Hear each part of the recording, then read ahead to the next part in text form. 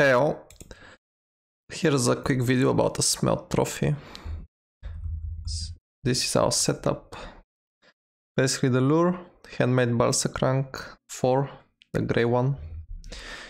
I've been trolling over here on the 13. Oh, let me show you exactly where. So on the top here of the 13, here what I've got bunch of smelts. Here's our trophy 155. Got 120 or so. So go try it over here. Wish you luck. Bye.